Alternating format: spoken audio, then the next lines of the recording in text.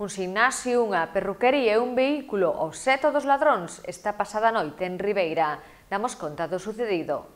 Noite de roubos en Ribeira, os amigos do Alleo visitaron un gimnasio e unha perruquería situados na avenida Miguel Rodríguez Bautista. Tamén roubaron nun vehículo situado nas inmediacións. Os ladróns romperon os cristais da porta de entrada do gimnasio e tamén os da perruquería, situados no mesmo portal dun edificio. Do gimnasio levaron un ordenador portátil e os cartos da máquina de bebidas. Da perruquería levaron o cambio da caixa registradora. Eso sí, revolverono todo. Un veciño daba a voz de alarma de madrugada ao percatarse da rotura dos cristais do gimnasio. Bo disgusto levaron os propietarios destes negocios que esta mañá presentaban cada súa denuncia na comisaría.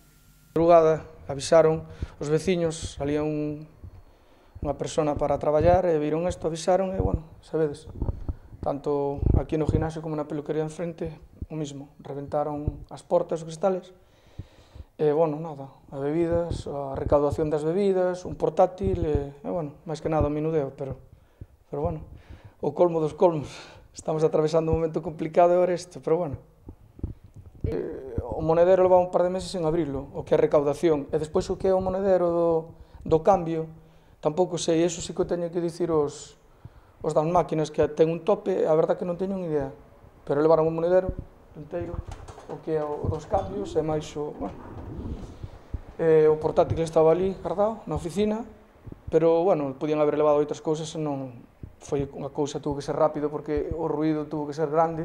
Fijadevos as dúas lunas, e no outro lado igual.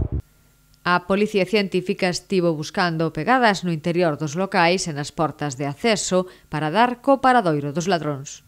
Viñeron rápido a policía, estuvo aquí, miraron todo. A primeira hora da mañán viñeron os, os de científica por tema das huellas. Estuveron tomando huellas, que había moita cousa por aí.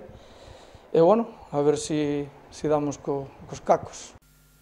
Outro roubo nun vehículo era denunciado por unha veciña esta mesma mañá.